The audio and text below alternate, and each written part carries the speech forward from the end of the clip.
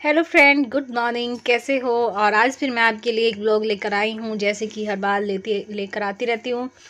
तो फ्रेंड्स आज मैं जा रही हूँ रुड़की आ, किस किसी के यहाँ से कंदूरी में।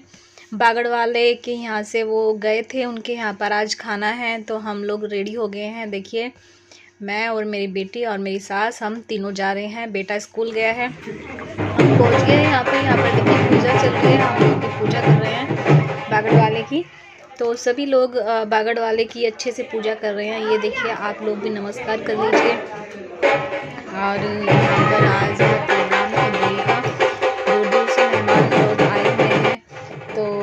फ्रेंड्स हम लोगों ने भी पूजा की, आशीर्वाद लिया और फिर हम लोग जाने वाले थे खाने के लिए। पर आंटी ने बोला कि पहले तुम्हारी बेटी का कन्या पूजन करना है तो जितनी भी छोटी छोटी कन्याएँ थी, यहाँ पर उनका कन्या पूजन किया, सबको खाना खिलाया, पैर धुले, कलावा पहना, टीका किया।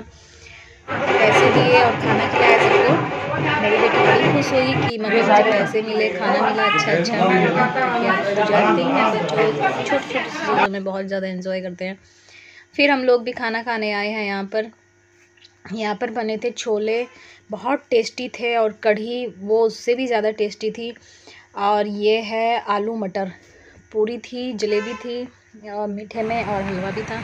उसके बाद मैं अपने बेटे को स्कूल लेने आई, बेटा भाग कर आ रहा है देखिए कितना खुश हो रहा है कि आज मम्मी भी आई है, रोज़ पापा ही लेने आने, आते हैं ना। तो आज मैं भी खाना खुना खाकर हम बेटे को स्कूल ले कर लेकर आए। तो फ्रेंड्स कैसा मेरा व्लॉग लगा मुझे ज़रूर बताना। वो लोग को लाइक करना शेयर करना सब्सक्राइब करना। Bye bye